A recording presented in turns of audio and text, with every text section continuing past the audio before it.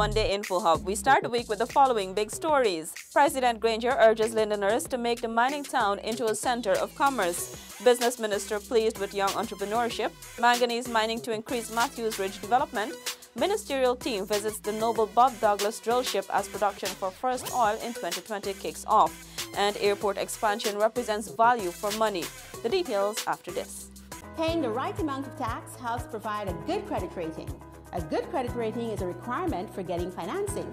You can use your good credit rating to get loans to expand your business, buy a house or car, or pay for your university tuition. Take advantage of the tax amnesty and pay no interest or penalties from now to June 30.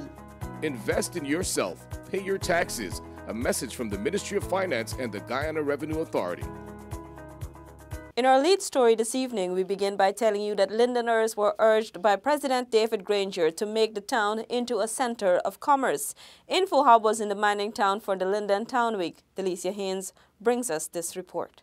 The Linden Trade Fair and Exposition was officially launched on Friday, April 27. As he officially opened the trade fair, President Granger described the community as the gateway to the rest of Guyana and urged that Linden become an example of commerce. This exhibition is an opportunity for innovation so that we stop being hewers of wood and become manufacturers of furniture. This exhibition is an opportunity for us to be innovative,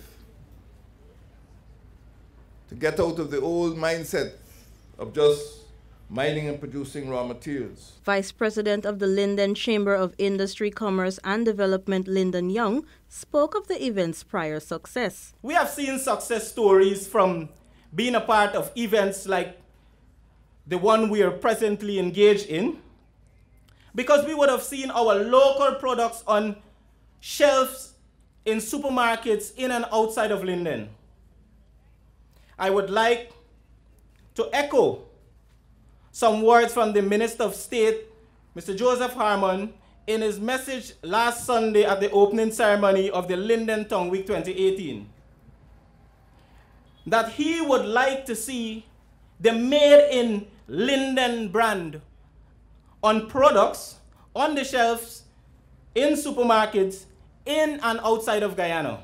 The Linden Exposition and Trade Fair 2018 ran from April 27 to 29 and was hosted by the Linden Chamber of Industry, Commerce and Development with support from the Linden Mayor and Town Council. For InfoHub, Delicia Haynes.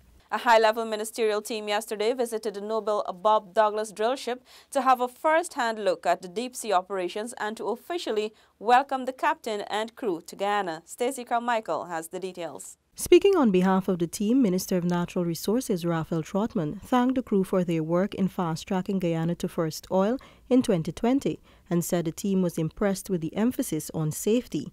The drill ship has begun work on the production phase and is on a three-year contract which will run through to 2021. Minister of State Joseph Harmon, who is part of the ministerial team, said at his recent post-cabinet press conference that the arrival of the Noble Bob Douglas signals the escalation of developments in the industry. It was noted that this ship is significantly larger and more versatile than the Stena Carron that is used primarily to drill exploratory wells. The Noble Bob Douglas will be involved in the drilling of injection and extractive wells. Minister of Finance Winston Jordan, Minister of Public Infrastructure David Patterson, and Minister of Business Dominic Gaskin were also part of the ministerial team. The team was joined by Director of Public Information Imran Khan, ExxonMobil Country Manager Rod Henson, ExxonMobil Upstream Manager Doug McGee, and Noble's Drilling Superintendent Curtis Chandler. For InfoHub, Stacey Carmichael. Still with oil and gas, the buzz continue over the many benefits to be had from this emerging sector. Four Guyanese employed on the Noble Bob Douglas drill ship said they are thrilled at the prospects ahead. Here is Alexis Rodney with that report. During a ministerial visit to the drill ship on Sunday, InfoHub caught up with four of the 23 Guyanese who were able to clinch jobs on the vessel some 88 miles off Georgetown. They are delighted at the experiences they say are setting them on a path of upward mobility. This means um, for me and my family, I think is a sacrifice we have to make. Um, everyone make a sacrifice in life for the better, and I think this this was a good choice for me. Exposure, experience, different things and it's kind of challenging, new environment, new stuff, but at the end of the day, you learn new things. It's getting you geared and you're getting new, you can get new position. You couldn't, you wouldn't come here as a cook and stay, remain as a cook. You get other areas that you can develop in. Primarily I was, uh, wanted to be a part in the offshore sector, oil and gas industry, and I had some experience in, in what they were, you know, looking for, which was uh, hospitality. The fact that it's happening in Guyana, you know, I mean, I, I, could have had this job in the next country, but primarily and most importantly, is because of the recent discovery of oil in Guyana, I was like, why not? I, you know, I mean, this is an opportunity for Guyanese, so I wanted to be a part of it. I heard about the job, and I applied, and I got through. Well, my hitch began on the 4th of April, and it ends uh, on the 7th of May. So the Noble Bob Douglas hovers above the 13th well being drilled by ExxonMobil in the Stabroek block.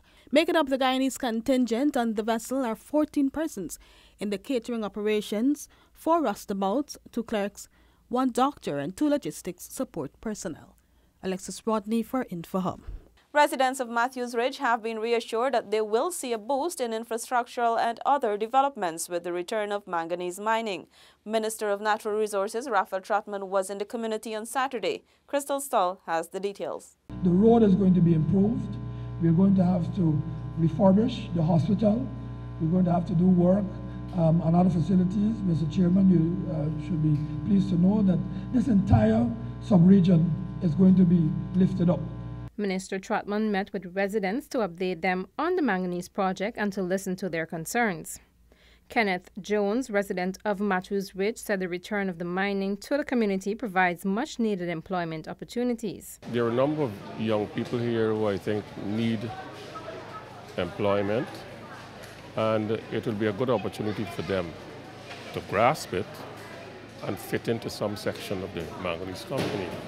Clarice Mendonza, another resident, said she would like to see Guyana Manganese Incorporated assist in the development of the community's health, education, and agriculture sectors. We're not asking for, for not depending on them wholly and solely, but at least they can assist us. Manganese mining began in the regional sub-district some 50 years ago under Reunion Manganese Incorporated. The return of manganese mining on the Guyana Manganese Incorporated is expected to see some 600 persons in the community and wider region benefiting from employment when production begins in the second quarter of 2019. Crystal Stahl for InfoHub. Business Minister Dominic Gaskin is pleased with young entrepreneurs embracing agro-processing. He was speaking at the opening of Uncapped, the trade expo at Providence. Crystal Stahl joins us again. The business minister also noted the efforts being made by the local manufacturers and producers to improve their products' presentation. I think they understand the importance of good packaging. They also have, a, I think, a greater brand awareness than some of us um, older folks. And therefore, that, uh, that comes out in their approach to business. And certainly, I've seen an improvement in the quality of our packaging over the last few years. Exhibitors at the event commended the organizers for creating a platform where they could showcase their products and services to the wider Guyanese public. I think it is an exceptionally great idea for us to display our local products, the products that we have as Guyanese, the unique tastes that we have. It's very nice. I think it's a very nice idea that they're actually trying to um, market some of our local produce because um, Guyana has a lot of talent. It's nice. It's a good exposure. Uh, give us the local um, entrepreneurs to market our stuff. The ones that I've visited so far are, are very interesting stuff. They are, especially the agriculture part. Marketplace Uncapped is expected to be held in other regions of the country throughout the year. Crystal Stahl for InfoHub. The expansion of the Cheddi Jagan International Airport is evidence of good value for money. So says Minister of Public Infrastructure David Patterson. Delicia Haynes brings us that report. In 2015, when um, the administration, when I uh, assumed the helm of the ministry, we had paid out more money than the percentage of work done.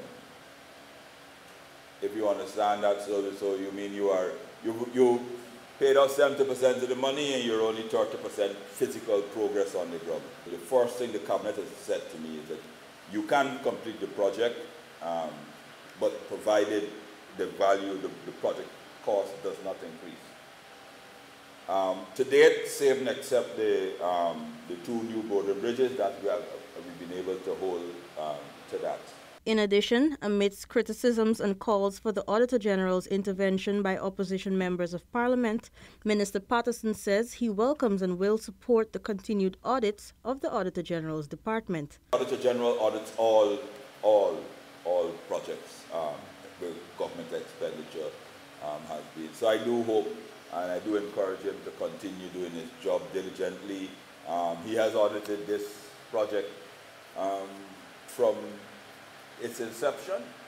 He, I mean, up to 2017, he has audited his project, um, and he will continue to audit the project, and we will provide him with any information. That's his job. Members of Parliament, the private sector, and other stakeholders were on Friday last taken on a guided tour of the CJIA to have a first hand view and assessment of current works. For InfoHub, Delicia Haynes. And finally, the curtains came down on Guyana's observance of Vaccination Week. Public Health Minister Volda Lawrence sought to dispel myths about the human papillomavirus vaccine. The Public Health Minister was speaking at the closing ceremony on Friday in Moco Moco Village, Region 9. We have the responsibility to protect our children, especially our 9 years to 13 year old.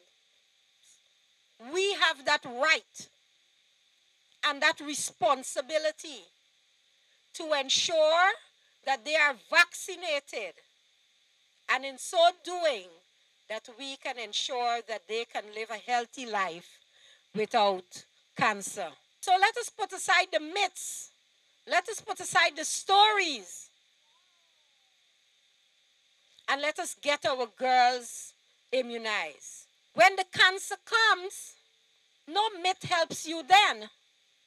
No stories help that child then. The parents are crying. The family is depressed. And everybody is looking for a miracle. UNICEF country representative Paolo Marchi supported the minister's call for the public to be more open to all vaccines, including the HPV vaccine. Unfortunately, um, there are misconceptions about vaccines. There are misconceptions about the effects of vaccines, and there are misconceptions about the fact that vaccine can work or not. We have these, mis- these are misconceptions because we have proof Vaccines save lives, save children's lives from preventable diseases every year. This is the 16th year Ministry of Public Health has collaborated with the PAHO WHO to host Vaccination Week in Guyana. This year, as part of the week-long celebration, the ministry chose to highlight its vaccination services countrywide, especially to far-flung communities, particularly those near borders. For InfoHub, Delicia Haynes. Connect with us 24 7 on our website, Facebook, Instagram, YouTube, and WhatsApp for more details as we bring you updates on what is happening all across Guyana. Thanks for watching. Goodbye. The Ministry of Finance has announced a tax amnesty effective January 1 to September 30, 2018. This means that you can pay all your outstanding income, property, corporate, capital gains, and withholding taxes. File your taxes before June 30, 2018, and all interest and penalties will be waived. Or file before September 30, 2018, and pay only 50% of the interest and penalties accrued. Invest in your country. Pay your taxes. A message from the Ministry of Finance and the Guyana Revenue Authority.